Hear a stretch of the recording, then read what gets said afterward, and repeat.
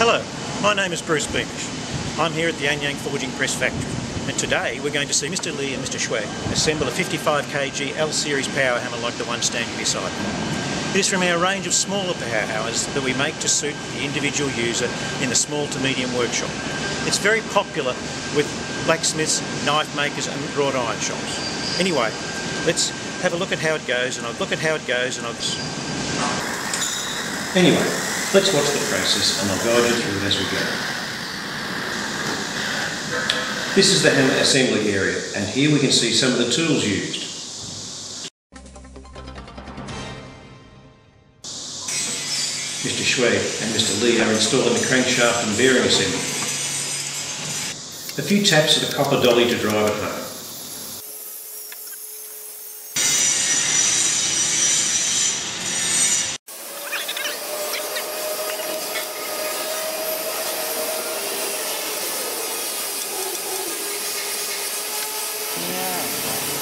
Torque wrench is used for all the bolts and nuts. Mm,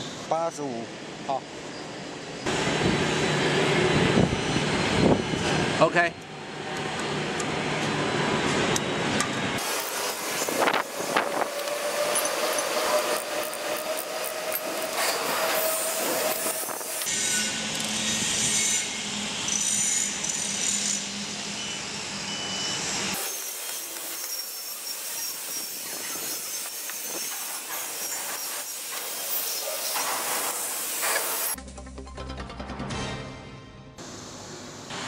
Conrod assembly.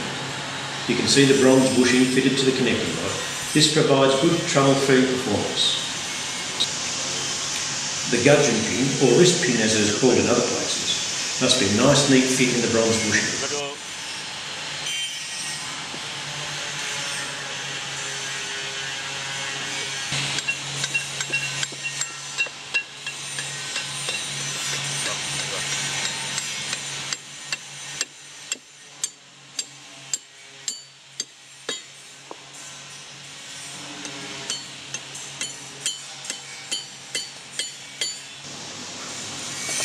A small pin is fitted to the gudgeon pin and this aligns with a slotted piston skirt to prevent the gudgeon pin from rotating in use. Finally, the fitting of a circlip locks the gudgeon pin in place.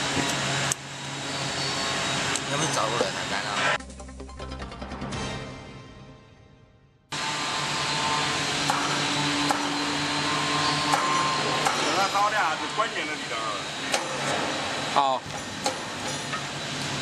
Now the connecting rod is lowered into the rear cylinder.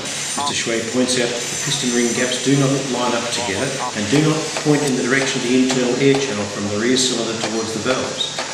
Also, it is important to note that the port on the side of the piston must align in the correct position. 左个位置只得找到左位，口儿不能朝前。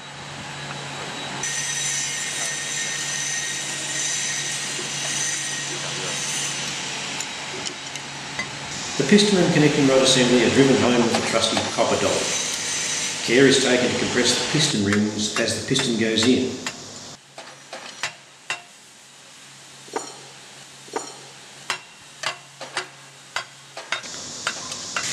We can see the lower end of the connecting rod being fitted to the crankshaft.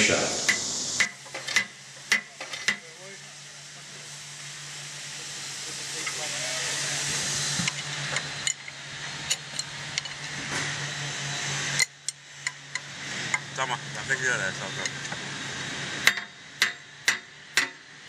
好好好，大哥，我家了，大哥。 Special locking washers and nylock nuts are used to secure the connecting rod.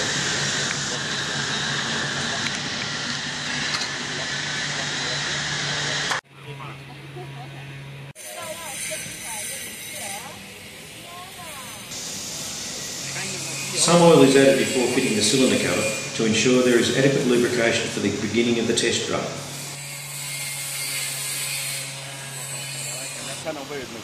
Mr Lee shows that the rear cylinder cover has to be placed the correct way so that the cutaway section of the cover aligns with the internal air channel.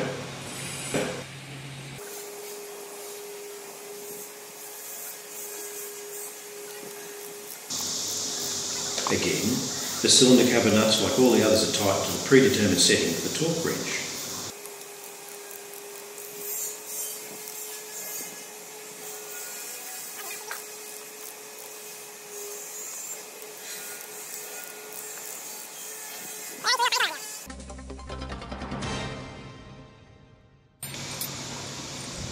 The installation of the valves is next. Mr Shui is checking if the air supplement valve is moving freely and tests it with some water to see that it is sinking correctly and airtight. Air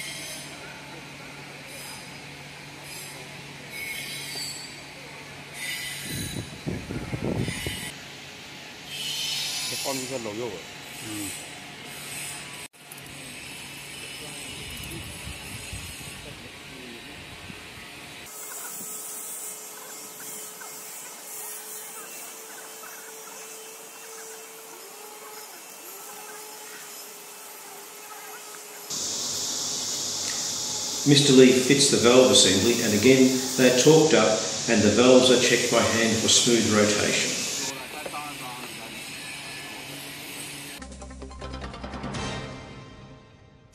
Installing the tup is next up. This is a good shot down the bore of the cylinder. The top of the stuffing box can be seen.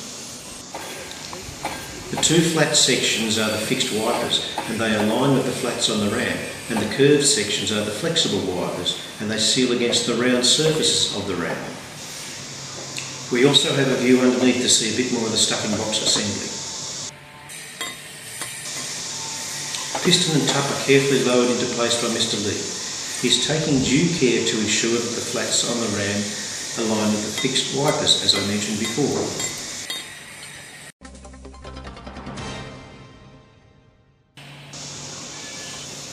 Grease nipples or grease zerks are fitted and the cover plates are installed.